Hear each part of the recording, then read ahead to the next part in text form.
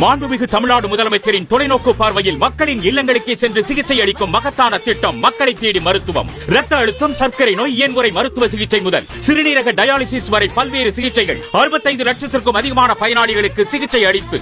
கரைக்கோடி தமிழரின் கனவுகளை தாங்கி ஓயா உழைப்பில் ஓராண்டு.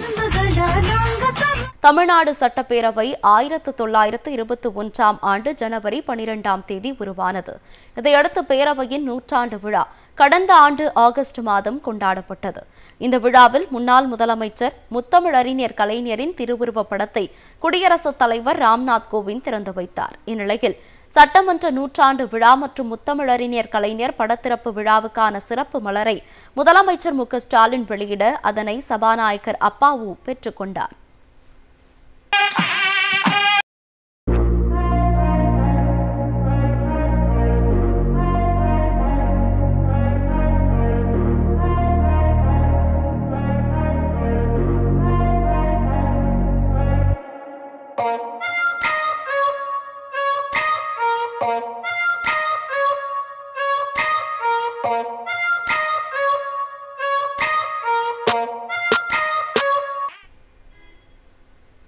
இதைத் தொடர்ந்து சட்டமன்ற கட்சி தலைவருக்கு முதலமைச்சர் மு. ஸ்டாலின் சிறப்பு மலரை வழங்கினார்.